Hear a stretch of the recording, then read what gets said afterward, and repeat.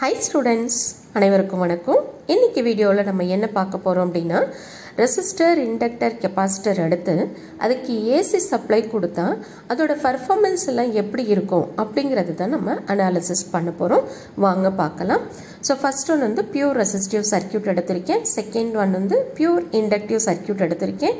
Third one வந்து pure capacitive circuit எடுத்திருக்கேன். ஓகேவா ஸோ ஃபஸ்ட்டு ஸ்டெப் நான் என்ன பண்ணியிருக்கேன் அப்படின்னா டயக்ராம் போட்டிருக்கேன். ஸோ ரெசிஸ்டர் ஆறுங்கிறது ரெசிஸ்டர் ஸோ இதுக்கு நான் என்ன பண்ணுறேன் அப்படின்னா ஏசி சப்ளை கொடுக்குறேன். அதோட வோல்டேஜ் வந்து V is equal to V M sine omega t இது வழியாக ஃப்ளோ ஆகிற கரண்ட்டை வந்து ஐன்னு எடுத்திருக்கேன். அதே மாதிரி இண்டக்டிவ் சர்க்கியூட்டுக்கு இண்டக்டருக்கு நான் என்ன பண்ணியிருக்கேன் ஏசி சப்ளை கொடுத்துருக்கேன்.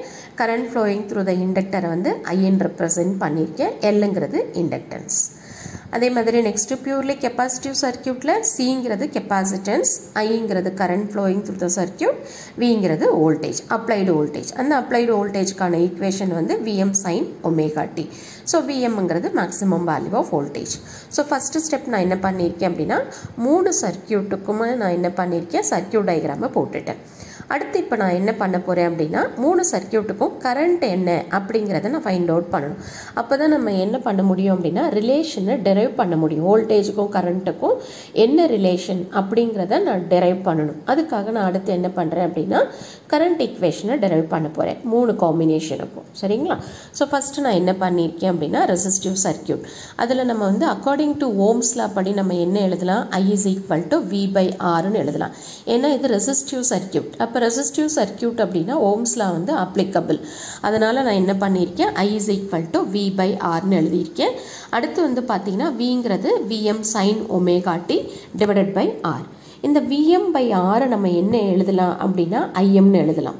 சரிங்களா? ஐஎம்ங்கிறது maximum value of current into sine omega t so இதுதான் வந்து current equation for the resistive circuit இதை வந்து நான் என்ன பண்ணியிருக்கேன் அப்படின்னா இன் டர்ம்ஸ் ஆஃப் நம்ம என்ன பண்ணியிருக்கோம் வோல்டேஜை வந்து எந்த ஃபார்மில் எழுதியிருக்கோமோ அதே ஃபார்மில் நம்ம என்ன பண்ணியிருக்கோம் கரண்ட்டையும் கொண்டு வந்துட்டோம். ஓகேங்களா? இது வோல்டேஜ் ஈக்குவேஷன் இது current equation for the resistive circuit so இதே மாதிரி ரிமைனிங் இருக்கிற ரெண்டு சர்க்கியூட்டுக்கும் நம்ம கொண்டு வரணும். ஓகேவா? நெக்ஸ்ட் வந்து பார்த்தீங்கன்னா purely inductive circuit so purely inductive circuit அப்படின்னு சொன்னால் இதில் இ e, இங்கிறது வந்து EM of induced is equal to L into DI by DT so நமக்கு வந்து சேஞ்ச் இன் கரண்ட் எவ்வளோ சேஞ்ச் இன் கரண்ட் இருக்கோ அதுக்கு தகுந்த மாதிரி நமக்கு என்ன ஆகும் இஎம் ஆஃப் இன்டியூஸ் ஆகும். இதுதான் பேசிக் கான்செப்ட் அதை பேஸ் பண்ணி தான் நம்ம இதை எழுதியிருப்போம்.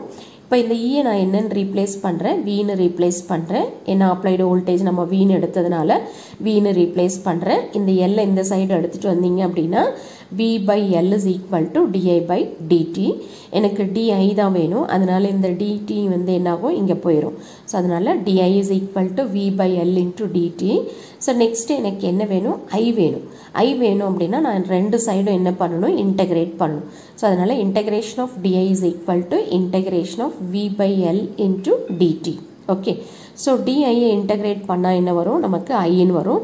So I is equal to இந்த ஒன் பை எல் வெளியில் எடுத்துறேன். So one by L integration of V into DT so இங்கே விங்கிற இடத்துல நான் என்ன பண்ணுறேன் அப்படின்னா விஎம் சைன் ஒமேகா டின்னு சப்ஸ்டியூட் பண்ணுறேன் okay so D of omega T என்ன with respect to omega T நான் வந்து இன்டகிரேட் பண்ண போகிறேன் ஓகேவா அடுத்து இந்த விஎம் வெளியில் எடுத்துட்டீங்க அப்படின்னா I is equal to VM by L integration sine omega T into D of omega T இப்போ நம்ம இதை என்ன பண்ணணும்? சைனை இன்டகிரேட் பண்ணணும். ஸோ சைனை இன்டகிரேட் பண்ணிங்கன்னா உங்களுக்கு என்ன வரும்? Minus காஸ்னு so minus cos omega T divide by omega so இந்த ஒமேகா நான் இங்கே எடுத்துகிட்டு வந்துட்டேன் அப்படின்னா I is equal to VM divided by omega into L into minus cos omega டின்னு வந்துருச்சு. ஓகேங்களா இப்போ இந்த காஸ் ஒமேகா டீயை நம்ம எப்படி எழுதலாம் அப்படின்னு சொன்னிங்கன்னா sine of ninety minus omega டீன்னு எழுதலாம். Cos omega T that is cos டீட்டாவை நம்ம என்ன எழுதுவோம் அப்படின்னா சைன் நைன்டி மைனஸ் டீட்டான்னு எழுதுவோம். ஓகேவா அதே தான் நான் இங்கே அப்ளை பண்ணியிருக்கேன். இங்கே மைனஸ் ஆல்ரெடி இருக்கிற மைனஸ் அதை அப்படியே தான் ரீடைன் பண்ணியிருக்கேன். ஓகேவா இப்போது இப்படியே வச்சுக்கிட்டேன் அப்படின்னா என்னால் என்ன பண்ண முடியாது அப்படின்னா இந்த வோல்டேஜோட ஃபார்முக்கு கொண்டு வர முடியாது. ஆக்சுவலாக நமக்கு வோல்டேஜ் எப்படி இருக்குது விஎம் சைன் ஒமேகா டியில் இருக்குது ஓகேவா பட் இங்கே என்ன இருக்குது சைன் ஆஃப் நைன்டி மைனஸ் டீட்டாவில் இருக்குது தட் இஸ் ஒமேகா டியில் இருக்குது ஓகே இப்போ நான் இதை என்ன பண்ணணும் அப்படின்னா சைன் ஒமேகா டி ஃபார்முக்கு கொண்டு போகணும். ஸோ அதனால் நான் இப்போ என்ன பண்ணுறேன்னா மைனஸ் ஆஃப் சைன் டீட்டான்னு இருக்குது சரியா? மைனஸ் சைன் ஆஃப் இதை ஃபுல்லாக டீட்டான்னு எடுத்துக்கிறோம் அப்படின்னா அதை நம்ம எப்படி எழுதலாம்? சைன் ஆஃப் மைனஸ் டீட்டான்னு எழுதலாம். ஓகேவா அந்த கான்செப்ட் படி நான் இது என்னென்னு பண்ணியிருக்கேன் பாருங்கள் I is equal to VM divide by omega L into sine of omega T minus pi by டூன்னு எழுதியிருக்கேன். ஓகேவா இங்கே வந்து பார்த்தீங்கன்னா இந்த விஎம் டிவைடட் பை ஒமேகா எல்லுங்கிறது என்னது? IM this uh maximum value of current so therefore I is equal to IM sine of omega T minus pi by two so நான் என்ன பண்ணியிருக்கேன் இதே ஃபார்மேட்டில் கொண்டு வந்துட்டேன். ஓகேவா ஸோ இது வந்து பியூர்லி இண்டக்டிவ் சர்க்கியூட்டுக்கு ஓகே அதே மாதிரி நெக்ஸ்ட்டு கெப்பாசிட்டிவ் சர்க்கியூட் எடுத்துக்கிறோம். ஸோ இந்த கெப்பாசிட்டிவ் சர்க்கியூட்டில் நமக்கு நல்லா தெரியும் சார்ஜுங்கிறது சி இன்ட்டு வி சிங்கிறது கெப்பாசிட்டன்ஸ் விங்கிறது வோல்டேஜ் இப்போ ஐ வந்து எப்படி எழுதலாம்? Current flowing through the capacitor எப்படி எழுதலாம் அப்படின்னா I is equal to DQ divide by DT அப்போ டி பை டிடி ஆஃப் கியூங்கிற இடத்துல சிவின்னு சப்ஸ்டியூட் பண்ணுறீங்க ஸோ விங்கிறத வெளியில் எடுத்துட்டு டி பை டிடி ஆஃப் இந்த விங்கிறத வந்து நான் என்னென்னு எழுதியிருக்கேன் அப்படின்னா விஎம் சைன் ஒமேகா டின்னு எழுதியிருக்கேன். ஸோ விஎம் இங்கே வெளியில் எடுத்துட்டிங்கன்னா விஎம்சி ஸோ இந்த சைன் ஆஃப் ஒமேகா டியை வந்து நான் டிஃப்ரென்ஷியேட் பண்ணுறேன் ஸோ இதை டிஃப்ரென்ஷியேட் பண்ணிங்கன்னா என்ன வரும் உங்களுக்கு? காஸ் ஒமேகா டி இன்ட்டு ஒமேகான்னு வரும். ஓகேவா இப்போ இதை வந்து ஜஸ்ட் இப்படி ரீப்ளேஸ் பண்ணியிருக்கேன். Omega C into VM into cos omega டின்னு எழுதியிருக்கேன். இந்த காஸ் ஒமேகா டியை நான் அடுத்த ஸ்டெப்பில் என்னென்னு ரீப்ளேஸ் பண்ணியிருக்கேன். Sine of omega T plus pi by டூன்னு ரீப்ளேஸ் பண்ணியிருக்கேன். ஓகே ஸோ இந்த ஈக்குவேஷனை நான் இப்போ எப்படி ரீப்ளேஸ் பண்ணியிருக்கேன்னு பாருங்கள் I is equal to omega C into VM நான் என்னென்னு எடுத்திருக்கேன்? ஐஎம்னு எடுத்திருக்கேன். இதை அடுத்தது sine of omega T plus pi by two இந்த ஃபார்முக்கே நம்ம கொண்டு வந்துட்டோம். ஓகேவா அப்போ தான் நமக்கு வந்து கம்பேர் பண்ணுறதுக்கு ஈஸியாக இருக்கும். ஓகே சரி. இப்போ நமக்கு வந்து மூணு சர்க்கியூட்டுக்குமே வந்து கரண்ட்டோட ஈக்குவேஷன் என்ன அப்படின்றது தெரிஞ்சிருச்சு. ஓகேவா அடுத்து வந்து நான் இப்போ என்ன பண்ணுறேன் அப்படின்னா ஃபேஸ் ஆங்கிளை ஃபைண்ட் அவுட் பண்ணுறேன் ஸோ ஃபேஸ் ஆங்கிள் நான் ஃபைண்ட் அவுட் பண்ணுறது that is voltage current between angle between the voltage and current கரெக்டாக இப்போ இங்கே பாருங்கள் இங்கே என்ன இருக்குது V is equal to VM sine ஒமேகாட்டின்னு இருக்குது அதே மாதிரி இங்கேயும் I is equal to IM sine omega T இருக்குது அப்போ பையோட வேல்யூ என்ன? ஜீரோ ஸோ காஸ் பைங்கிறது என்ன அப்படின்னா பவர் ஃபேக்டர் பவர் ஃபேக்டர் நம்ம எப்படி டிஃபைன் பண்ணுவோம்? Cosine of angle between the voltage and the current இப்போ பைங்கிறது என்ன? Angle between the voltage and current அப்போ cosine of angle between the voltage and கரண்ட்டை தான் நம்ம என்ன சொல்கிறோம் பவர் ஃபேக்டர்னு சொல்கிறோம் அப்போ காஸ் ஆஃப் ஜீரோ நமக்கு என்ன? ஒன்று அப்போது பியூர்லி ரெசிஸ்டிவ் சர்க்கியூட்டாக இருக்குது அப்படின்னா அதோட பவர் ஃபேக்டரோட வேல்யூ என்ன அப்படின்னா ஒன்று ஓகே சரி. அடுத்து வந்து இண்டக்டிவ் சர்க்கியூட் எடுத்துக்கிறேன். இப்போ இந்த inductive சர்க்கியூட்டில் V is equal to VM sine omega T ஆனால் ஐயோட வேல்யூ என்ன வருது பாருங்கள் I is equal to IM sine of omega T minus pi by two அப்போ இதில் வந்து பையோட வேல்யூ என்ன? நைன்டி டிகிரி ஸோ இது வந்து மைனஸ் பை பை டூ அதனால் இது லேகிங்னு சொல்லுவோம். சரியா? ஸோ பையோட வேல்யூ நைன்டி டிகிரி அப்படின்னா காஸ் நைன்டி டிகிரி நமக்கு என்ன? Zero that is lagging power factor okay அதே மாதிரி கெப்பாசிட்டிவ் சர்க்கியூட் எடுத்துக்கிறோம்.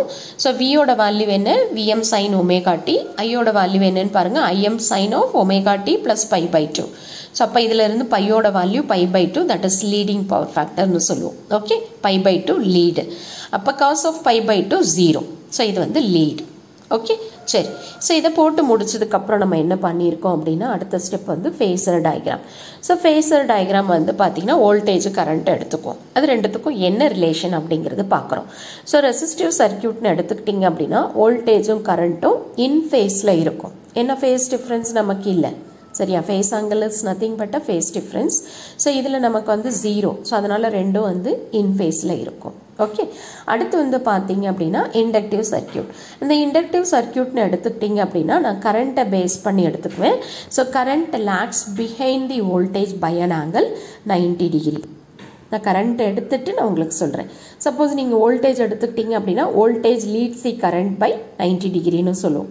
எதனா ஒன்று மட்டும் ஞாபகம் வச்சுக்கோங்க. எல்லாத்தையும் ஞாபகம் வச்சு கன்ஃபியூஸ் பண்ணிக்காதீங்க. நான் எப்பவுமே வந்து கரண்ட்டை ரெஃபரன்ஸாக எடுத்துக்குவேன். ஸோ இப்போ வந்து current lags behind the voltage by an angle ninety degree அதே மாதிரி கெப்பாசிட்டிவ் சர்க்கியூட்னு எடுத்துக்கிட்டீங்க அப்படின்னா current leads C voltage by an angle ninety degree ஓகேவா ஸோ இது வந்து ஃபேஸர் டயக்ராம் ஸோ இதுக்கப்புறம் நம்ம என்ன பார்க்கணும் அப்படின்னா இன்ஸ்டன்டேனியஸோட பவரோட வேல்யூ என்ன? அடுத்து ஆவரேஜோட பவர் என்ன? அப்படிங்கிறத நம்ம பார்க்கணும். ஒவ்வொரு சர்க்கியூட்டுக்கும் ஸோ ஃபஸ்ட்டு நான் இன்ஸ்டன்டேனியஸ் பவர் எடுத்திருக்கேன். ஸோ இந்த பவரை நான் எப்படி ரெப்ரசென்ட் பண்ணியிருக்கேன்னா P is equal to V into Jan represent பண்ணியிருக்கேன். ஸோ விங்கிறது வோல்டேஜ் ஈக்குவேஷன் எடுத்து எழுதிக்கோங்க. விஎம் சைன் ஒமேகா ஐங்கிற இடத்துல ஐஎம் சைன் ஒமேகா எடுத்துக்கோங்க ரெசிஸ்டிவ் சர்க்கியூட்டில் ஸோ இது ரெண்டுத்தையும் இப்போ மல்டிப்ளை பண்ணிங்கன்னா VM IM sine square omega டின்னு வரும். இந்த சைன் ஸ்கொயர் ஒமேகா டியை நான் எப்படி ரீப்ளேஸ் பண்ணியிருக்கேன் அப்படின்னா one minus cos two omega T divide by டூன்னு எழுதியிருக்கேன். ஓகேவா இது வந்து instantaneous power for resistive circuit இதே மாதிரி இப்போ இண்டக்டிவ் சர்க்கியூட்க்கு போகிறேன் இங்கேயும் இன்டன்ஸ் இன்ஸ்டன்டேனியஸ் பவர் வந்து வி இன்ட்டு ஐன்னு எழுதியிருக்கோம். ஸோ விக்கு வந்து எக்ஸ்பிரஷன் என்ன வந்தது? விஎம் சைன் ஒமேகா டி ஐக்கு என்ன எக்ஸ்பிரஷன் வந்தது? IM sine of omega T minus pi by two so இதை மல்டிப்ளை பண்ணிங்க அப்படின்னா VM IM sine omega T into sine of omega T minus pi by two இந்த sine of omega T minus pi by டூவை நம்ம எப்படி எழுதலாம்? அப்படின்னு சொல்லி பார்த்தீங்கன்னா மைனஸ் காஸ் ஒமேகாட்டின்னு எழுதிக்கிறோம். சரிங்களா? ஸோ இதுக்கப்புறம் வந்து பார்த்தீங்க அப்படின்னு சொன்னீங்கன்னா இந்த sine omega T into cos ஒமேகாட்டியை நம்ம எப்படி எழுதுறோம் அப்படின்னா sine two omega T divide by டூன்னு எழுதுறோம். ஓகே ஸோ இதை சிம்பிளிஃபை பண்ணிங்க அப்படின்னா உங்களுக்கு minus PM IM by two into sine two omega டின்னு வரும். ஸோ இதுதான் வந்து instantaneous power for inductive circuit then next வந்து கெப்பாசிட்டிவ் சர்க்கியூட் ஸோ இங்கேயும் நம்ம என்ன பண்ணியிருக்கோம் அப்படின்னா வியோட எக்ஸ்ப்ரெஷன் ஐயோட எக்ஸ்ப்ரெஷனை போட்டுட்டு மல்டிப்ளை பண்ணுறோம் ஓகே ஸோ இங்கே நமக்கு என்ன வரும்? Sine of omega T plus pi by two வந்து இங்கேயும் காஸ் ஒமேகா டின்னு வரும். Sine omega T into cos omega டியை நம்ம எப்படி எழுதலாம்? Sine two omega T divide by two so இதில் இருந்து இன்ஸ்டன்டேனியஸ் பவர் வந்து VM IM by two into sine two omega டின்னு வந்துருச்சு. ஓகேங்களா? ஸோ இப்போ மூணு கேஸுக்குமே நம்ம என்ன ஃபைண்ட் அவுட் பண்ணிட்டோம் அப்படின்னா இன்ஸ்டன்டேனியஸ் பவர் என்ன அப்படிங்கிறத ஃபைண்ட் அவுட் பண்ணிட்டோம். ஓகேங்களா? நெக்ஸ்ட் நம்ம என்ன பண்ணணும்? ஆவரேஜ் பவரை ஃபைண்ட் அவுட் பண்ணணும். ஸோ இந்த ஆவரேஜ் பவர் எப்படி ஃபைண்ட் அவுட் பண்ணுறோம் அப்படின்னா ஒன் பை பை ஏன்னா நம்ம கொடுக்கறது வந்து பார்த்திங்கன்னா சைனசாய்டல் சிக்னல் தான் நம்ம கொடுக்குறோம். சரிங்களா? ஸோ அப்போ இல்லை cos signal that is cosine signal என்னென்னா சைன் சிக்னல் தான் நம்ம கொடுக்குறோம். ஸோ இதில் வந்து ஒரு ஆஃப் சைக்கிள் மட்டும் நம்ம எடுத்துக்கிறோம். So one by pi zero to pi integration of zero to pi so P into D of omega T so இங்கே பிங்கிறது வந்து இன்ஸ்டன்டேனியஸ் பவர் நம்ம என்ன ஆல்ரெடி ஃபைண்ட் அவுட் பண்ணியிருக்கோமோ அந்த வேல்யூ கொண்டு வந்து நான் இங்கே சப்ஸ்டியூட் பண்ண போகிறேன் ஸோ இங்கே ஆல்ரெடி நம்ம ஃபைண்ட் அவுட் பண்ணிவிட்டோம் அதை கொண்டு வந்து சப்ஸ்டியூட் பண்ணிவிட்டு நெக்ஸ்ட்டு நான் என்ன பண்ணுறேன் இது ரெண்டுத்தையும் செப்பரேட் பண்ணிக்கிறேன் இந்த இன்டெகிரேஷனை ஸோ அதனால் integration of zero to pi D of omega T minus already இதில் இருக்கிற கான்ஸ்டன்ட் எல்லாம் நம்ம வெளியில் எடுத்துட்டோம். சரிங்களா?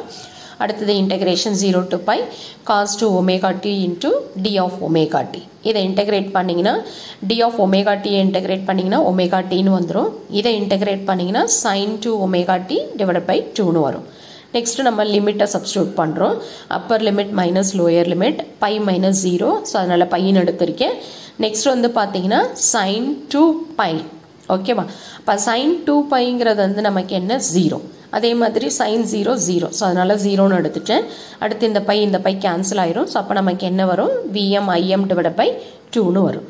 ஸோ இதுதான் வந்து பார்த்தீங்கன்னா average power for the resistive circuit next வந்து பார்த்தீங்கன்னா average power for inductive circuit நம்ம கண்டுபிடிக்க போகிறோம் இங்கே அதே மாதிரி தான் one by pi integration zero to pi instantaneous பவரோட value into d of omega t so already நம்ம இங்கே ஃபைண்ட் அவுட் பண்ணியிருக்கோம். அதை கொண்டு வந்து இங்கே சப்ஸ்டியூட் பண்ணிவிட்டு இன்டகிரேட் பண்ணுங்கள் இங்கே வந்து பார்த்தீங்கன்னா minus PM IM by two வெளியில் எடுத்துட்டீங்க அப்படின்னா இங்கே வந்துடும் வெளியில் வந்துடும் அப்போ நமக்கு என்ன மட்டும் இருக்கும் பாருங்கள் integration of zero to pi sine two omega t into d of omega t மட்டும் வரும். இதை இன்டெகிரேட் பண்ணிங்கன்னா minus cos two omega t divide by two so இந்த மைனஸ் இன்ட்டு மைனஸ் ப்ளஸ் ஆயிரும். அப்போ VM IM by four pi ஆயிடுச்சு. இங்கே வந்து upper limit minus lower limit substitute பண்ணிங்க அப்படின்னா ஒன் மைனஸ் ஒன் வந்து ஜீரோன்னு வந்துடும் ஓகேங்களா? அதே மாதிரி இப்போ capacitive circuit so capacitive circuit எடுத்துட்டு இங்கே ஆவரேஜ் பவரை சப் ஃபைண்ட் அவுட் பண்ண போகிறோம் ஸோ இங்கே இன்ஸ்டன்டேனியஸ் பவர் என்ன வந்தது? VM IM by two into sine two omega t அதை சப்ஸ்டியூட் பண்ணுங்கள் விஎம் ஐஎம் பை டூ வெளியில் எடுத்துருங்க. இப்போ ரிமைனிங் என்ன இருக்கும்? Sine two omega t into d of omega t integration zero to pi so இதை இன்டகிரேட் பண்ணிவிட்டு லிமிட்டை சப்ஸ்டியூட் பண்ணிங்க அப்படின்னா உங்களுக்கு ஆவரேஜ் பவரோட வேல்யூ என்ன வருது? ஜீரோன்னு வருது. ஓகேங்களா ஸோ இந்த மாதிரி வந்து பார்த்தீங்கன்னா ஒரு டேப்லேஷன் மாதிரி போட்டுட்டு ஒரு கம்பேரிசனில் போட்டு படிச்சிங்க அப்படின்னா என்ன டிஃப்ரென்ஸ் அப்படிங்கிறத நம்ம ஈஸியாக ஞாபகம் வச்சுக்கலாம். ஸோ கண்டிப்பாக இந்த வீடியோ உங்களுக்கு யூஸ்ஃபுல்லாக இருக்கும்னு நினைக்கிறேன். தேங்க்யூ ஃபார் வாட்சிங் திஸ்